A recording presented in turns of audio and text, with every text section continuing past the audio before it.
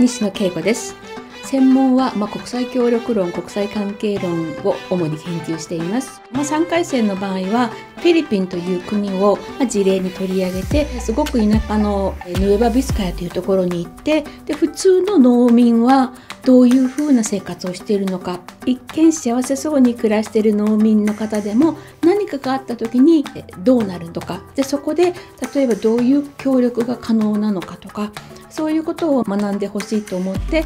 3回生の9月にフィールドに行くことになってます。今西祐介と申します。私は言語学を専門にしておりまして、まあ、今世界には6000ぐらい言語があると言われてるんですね。今世紀の終わりまでにはその半分がですね消滅してしまうというふうに言われてるんですね。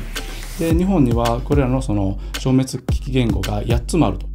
まずはその言語学の基礎であったりとか言語学の分析方法といったものを学んでそしてま座学をしっかりやると。でそれだけじゃなくてフィールドに出てですね自分たちの目でそして肌で感じたものそれをま研究に消化していく。フ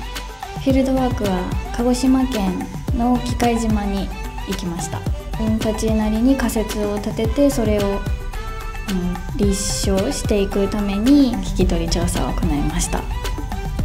ぱり行ってみないとわからないことってたくさんあるんだなっていうふうに感じたので行ってよかったなっていうのはすごく思ってます。